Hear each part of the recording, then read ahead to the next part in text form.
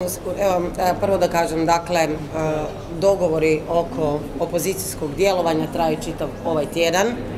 Svi smo bili prisutni na tim sastancima i svi smo potvrdili taj dogovor.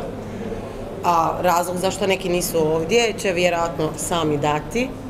A, ja pretpostavljam šta će biti argumentacija, a to je pitanje uloge domovinskog pokreta i pitanja u plinskoj aferi, odnosno zagovaranja jedne strane. Međutim, želim podcrtati.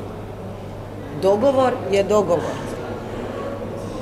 I oni koji se ne drže, možda nisu dio ekipe. Druga stvar, druga stvar. Postoje problemi u opoziciji, e, ne problemi, nego postoje različite strane koje zauzimamo jer smo različite stranke i to je dobro. Opozicija nije jedna stranka ali kad se opozicija nešto dogovori i kada zajednički djeluje, onda se dogovori moraju poštivati. To je moja poruka ne onima koji su u opoziciji samo. To je poruka moja svima koji jednom žele doći na vlast. Da ako se žele odgovorno ponašati prema građanima i državi, dogovori se poštivaju. To je bottom line. Postoji li i dalje opcija da ćete se vi sastajati čak ako ne bude sjednice